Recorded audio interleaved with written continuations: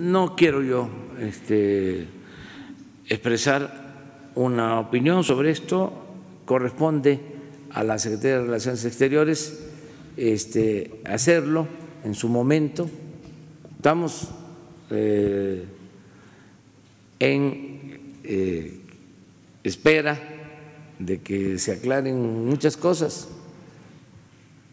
Queremos eh, ver si se va a convocar elecciones, eh, quién va a participar en las elecciones, tanto en la organización, si van a poder participar todas las fuerzas políticas, si este, se va a restablecer el orden eh, legal en Bolivia todo esto en el marco de nuestra política de no intervención y autodeterminación de los pueblos, pero estando pendiente de lo que está eh, sucediendo.